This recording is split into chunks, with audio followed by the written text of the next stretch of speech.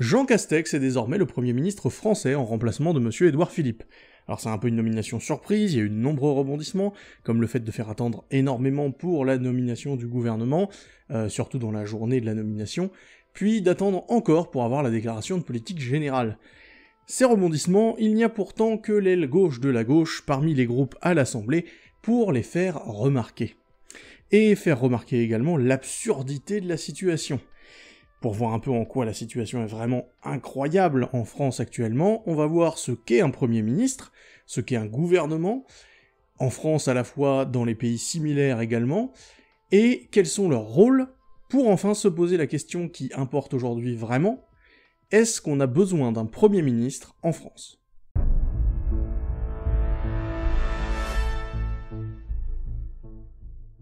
Le gouvernement détermine et conduit la politique de la nation, c'est l'article 20 de la Constitution. En gros, ça nous dit que le gouvernement peut utiliser les administrations et la force armée pour réaliser l'exécution de la politique nationale. Il peut aussi prendre des décrets, donc des actes juridiques pour ça, et il a même possibilité de proposer au Parlement des projets de loi. C'est le président de la République qui va nommer le Premier ministre, et ensuite ce Premier ministre nomme son gouvernement, qui doit être validé par le président de la République. Ensuite, dans notre constitution, le gouvernement et le Premier ministre sont décrits comme responsables devant le Parlement, et en réalité devant l'Assemblée nationale. Ça, c'est la suite de l'article 20. Ça veut dire que si l'Assemblée est mécontente de son gouvernement, elle peut exiger sa démission. C'est ce qu'on appelle la motion de censure. Ce sont les articles 49 et 50 de la Constitution. En gros, les députés vont voter pour savoir si oui ou non ils censurent le gouvernement. Si une majorité est pour la censure, le gouvernement démissionne. Et donc, en conséquence de cette possibilité pour l'Assemblée de virer purement et simplement le gouvernement, on a l'article 49 de la Constitution qui nous dit le Premier ministre, après délibération du Conseil des ministres, engage devant l'Assemblée nationale la responsabilité du gouvernement sur son programme ou éventuellement sur une déclaration de politique générale. Ça signifie que quand il est nommé, pour être bien sûr de ce qui va être fait par ce nouveau gouvernement, le Premier ministre va à l'Assemblée présenter sa politique. Et ensuite, il y a ce qu'on appelle un vote de confiance. Ça fonctionne exactement comme un vote sur une motion de censure. Si une majorité est contre le gouvernement, le gouvernement démissionne. Si par contre elle est pour, on considère que c'est là que va commencer vraiment le travail du gouvernement. Bon, maintenant, avec ces bases théoriques, rappelons un peu la situation française actuelle. Édouard Philippe est redevenu maire du Havre grâce à la municipale de 2020, et le président Emmanuel Macron a donc décidé de le démettre de ses fonctions de Premier ministre, sans trop que personne ne sache pourquoi d'ailleurs. Alors la raison la plus logique, ce serait la débâcle de son parti, La République En Marche, pendant bah, les municipales françaises justement. Et donc le 3 juillet 2020, Jean Castex est nommé Premier ministre, et il va attendre le 6 juillet à 19h pour annoncer son gouvernement. Et là, silence radio.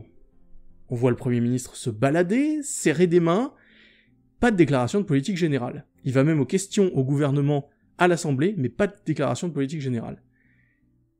Donc, le 8 juillet, on a bien le nouveau gouvernement, on a bien euh, le, nouveau Premier ministre, il va devant les députés, mais il répond juste aux questions. Pas de déclaration de politique générale. Pourtant, c'est un, grand classique en France et dans énormément de pays. En fait, dans tous les régimes qu'on appelle parlementaires. On peut même aller jusqu'à parler d'obligation constitutionnelle. C'est dans l'article 49 la déclaration de politique générale. Et pourtant, il va falloir attendre le 15 juillet pour avoir cette déclaration devant les députés. Et la seule explication à ce retard, elle va être donnée par Jean-Luc Mélenchon, président du groupe La France Insoumise. En fait, le Premier ministre attendait la prise de parole du président le 14 juillet lors de la fête nationale. L'objectif, c'était surtout d'éviter que le Premier ministre ne dise quelque chose et que quelques jours plus tard, le président aille dire l'inverse. C'est une situation qui s'est beaucoup produite récemment avec toutes les mesures relatives à la gestion de la crise du Covid, euh, par exemple avec des ministres qui annoncent des choses et le président qui annonce complètement autre chose quelques heures ou euh, quelques jours plus tard. Là, Jean Castex, il a pris les devants, il a décidé de mettre au second plan l'obligation d'aller euh, devant les députés et de se faire voter la confiance, il a préféré attendre que le président parle. Déjà ça, c'est absurde, mais si on compare avec d'autres pays, on est encore à des années-lumière d'un fonctionnement normal. On a parlé d'Édouard Philippe et du fait que le président l'avait remercié, donc le président l'a viré. Bah figurez-vous que ça, pour le coup, c'est pas du tout dans la Constitution. Le président, il nomme le Premier ministre, mais en aucun cas il peut le virer. Il euh, y a un président en Allemagne, par exemple, il peut pas virer la chancelière allemande. Il euh, y a une reine au Royaume-Uni, elle ne peut pas virer le Premier ministre britannique. Ces pays sont sous régime parlementaire, comme nous, comme à la base est le régime français, et donc en gros normalement c'est le Parlement qui décide de la loi, le gouvernement qui l'applique. Donc le gouvernement il doit être soumis au Parlement, pas, pas au président, le chef de l'État, le roi ou le président, il est pas censé avoir ce pouvoir-là.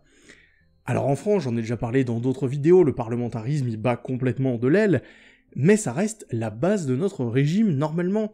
Et la meilleure preuve, bah c'est le sujet de cette vidéo, c'est le Premier ministre. Le Premier ministre, c'est une caractéristique euh, d'un régime parlementaire. Alors des fois on appelle ça chancelier, on appelle ça chef du gouvernement, mais tout ça c'est la même chose. C'est une caractéristique du régime parlementaire. Le Premier ministre, il dirige le gouvernement, il mène la politique décidée par le Parlement. Sauf qu'en France, il y a un truc qui bloque complètement tout le système, et ça s'appelle le président de la République. Vu qu'il a un mode d'élection bonapartiste depuis 62, donc en fait il est élu par les citoyens, et vu que ses pouvoirs sont énormes, ils étaient déjà énormes avant, eh ben il va reléguer le Premier ministre complètement au second plan. Pire que ça, on va avoir l'impression que le Premier ministre fait doublon. Euh, d'ailleurs, après la déclaration de politique générale ce 15 juillet 2020, les groupes à l'Assemblée se sont exprimés et ont fait leur petite déclaration de politique à eux, sauf deux présidents de groupes qui ont décidé de relever le côté complètement absurde de la situation, qui conduit à faire confiance à un Premier ministre qui, dans la réalité, n'a aucun pouvoir. On a d'abord Jean-Luc Mélenchon, je l'ai déjà, cité, donc sur euh, euh, pour la France Insoumise, qui va dire, je cite, la Constitution nous dit à l'article 20, le Premier ministre détermine et conduit la politique de la nation. Vous n'êtes pas concerné, il n'y a pas une personne en France qui croit que vous déterminerez quoi que ce soit s'agissant de la politique de la nation. Jupiter, le président Macron, nous a rappelé bien des fois déjà qu'il s'occupait de tout, et même du reste. Et André Chassaigne, cette fois du groupe de la gauche démocrate et républicaine, a dit quant à lui, la déclaration de politique générale a pour vocation d'être un marqueur historique, mais convenons-en, elle est devenue un rituel convenu, un marronnier médiatique, un marronnier d'autant plus formel aujourd'hui que la plupart de ces feuilles sont déjà tombées hier. Le président de la République vous a brûlé la politesse. Derrière ces critiques, ce qui est visé, c'est ce que je vise également, c'est la Ve République. Ce fonctionnement, qu'on a toujours appelé semi-présidentiel complètement à tort, parce qu'en fait, c'est un régime hyper présidentiel. Le président décide de tout. Le président détermine et conduit la politique de la nation. Mais alors, qu'est-ce qu'on va faire du Premier ministre? Alors, si on réfléchit de manière classique, on a deux choix. Soit on remet un système vraiment parlementaire. Le Parlement a tous les pouvoirs, le Premier ministre et les ministres exécutent, le judiciaire aussi est soumis à la loi, donc il est soumis au Parlement, dans ce cas-là, on réduit énormément les pouvoirs du président et on fait qu'il ne soit pas élu. Régime parlementaire classique. Soit, et c'est ce qui est un peu en train de se passer, on va vers un système à l'américaine, un système présidentiel. Dans ce cas-là, on garde les pouvoirs du président, l'élection, mais on supprime le Premier ministre. Le problème, c'est que là où on ne va pas, c'est que le président devient le chef du gouvernement, mais attention, aux États-Unis, il y a d'énormes contre-pouvoirs.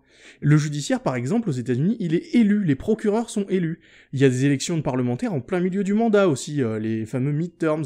Il y a l'impeachment aussi, qui est une destitution à l'américaine, qui est bien moins difficile à mettre en œuvre que la destitution française. Bref, il y a plein de contre-pouvoirs à mettre en place, si on veut faire ça. Mais tout ça, c'est réfléchir un peu à l'ancienne. Que ce soit le président ou le premier ministre qui ait quasiment tous les pouvoirs, c'est finalement assez secondaire. Parce que de toute façon, ça veut dire que quelqu'un se trouve au-dessus de tout, qu'il peut faire ce qu'il veut, avec très peu de limites. Alors, heureusement, il ne peut pas décider que la chaîne YouTube sur laquelle vous êtes est la meilleure, qu'il faut s'y abonner, laisser des pouces bleus, activer la cloche, ça c'est en votre pouvoir. Mais plus sérieusement, avoir autant de pouvoir, c'est trop pour une seule personne. Et si vous voulez avoir, si vous voulez savoir pourquoi donner trop de pouvoir à quelqu'un, ça pose problème, je vais vous renvoyer vers cette vidéo.